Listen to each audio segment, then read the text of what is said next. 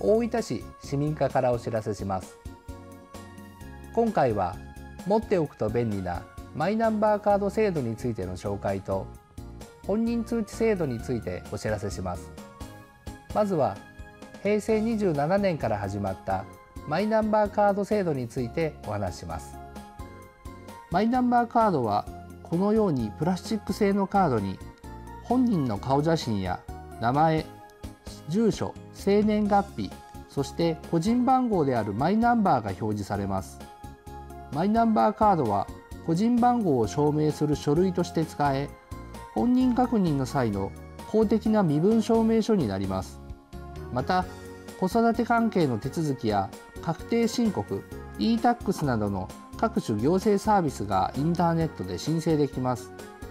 その他にも証明書コンビニ交付サービスを利用できるなどとても便利です。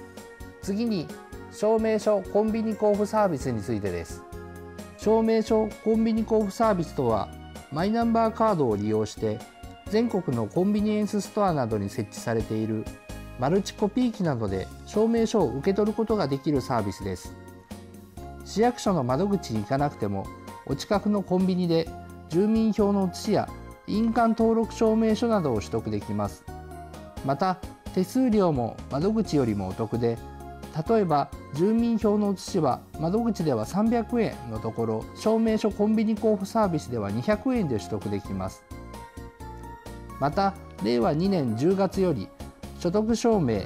市民税県民税課税証明書の税に関する証明も取得できるようになりました。利用できる店舗は日本全国の次の店舗のうちマルチコピー機キオスク端末が設置されている店舗でセブンイレブンローソンフ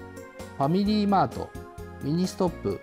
イオン九州の系列店舗などです。利用できる日時は毎日午前6時30分から午後11時です。日中市役所が空いている時間帯に窓口に来られない人にとても便利です。利用方法はまずマルチコピー機のメインメニューから行政サービスを選択します。次にマイナンバーカードをかざし証明書を交付する市区町村を選択します。カード作成時に設定した4桁の暗証番号を入力してからマイナンバーカードを取り外します。その後は画面の案内に従って操作してください。では次にマイナンバーカードを作るにはどうしたらよいでしょうか？マイナンバーカードの申請方法についてお知らせします。マイナンバーカードの申請の方法は次の4つがあります。まず1つ目が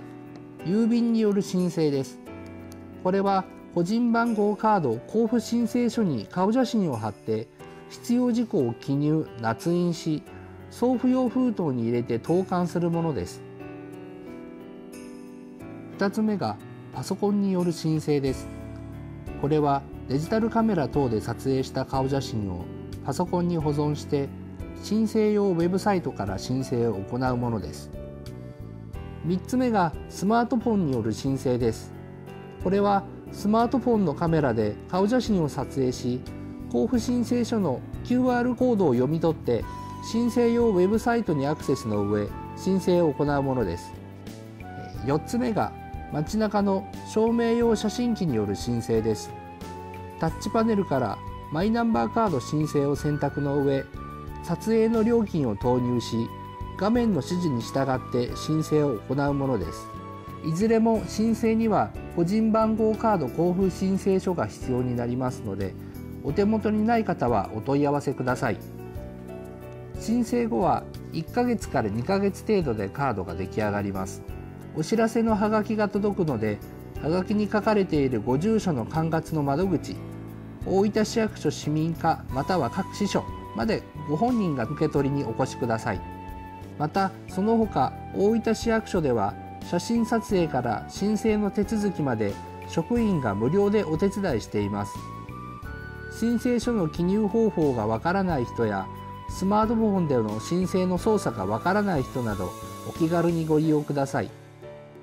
なお事前にご予約が必要となりますのでそれぞれご希望の窓口にお問い合わせください。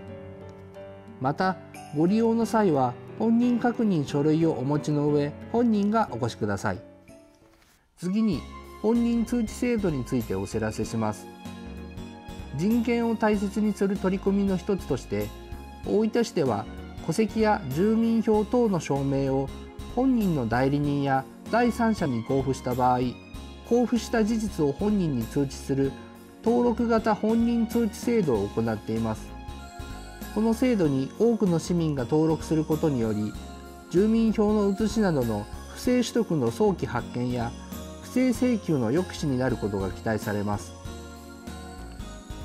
登録型本人通知制度を利用するには事前の申し込みが必要です。市民課窓口各支所